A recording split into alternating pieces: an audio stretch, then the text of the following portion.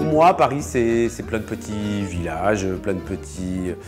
Euh, des quartiers, des villages qui, sont proches les uns des autres, avec une ambiance différente. Et j'ai vraiment voulu recréer un bistrot de village avec le petit patio. Pour moi, il n'y a pas de bon repas sans vin. Pour moi, c'est pas concevable. C'est peut-être un art de vivre ou une culture, mais dans l'âme d'un Français, un bistrot, c'est un bistrot à vin. C'est un endroit où on déguste de bonnes choses, aussi bien à manger qu'à boire. C'est un endroit où on vient euh, se régaler. Chez moi, je ne sers que des produits français, euh, des recettes traditionnelles, euh, voilà. On travaille que des produits frais.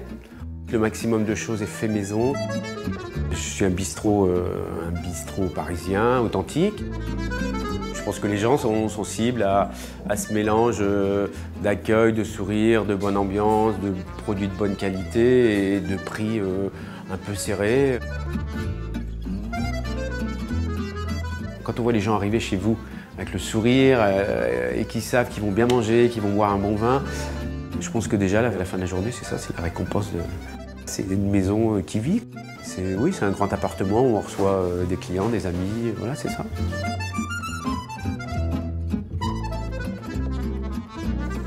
En fait, je me sens chez moi et voilà, ils viennent chez moi, donc j'ai plaisir à les recevoir.